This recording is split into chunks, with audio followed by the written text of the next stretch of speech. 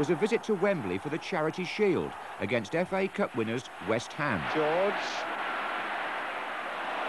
Hector. That's it!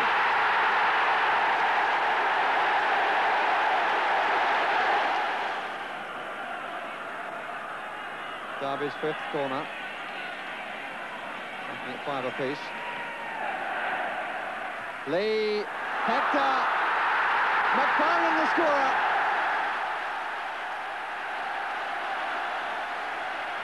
Mervyn Day hurt by the attempted back by Hector.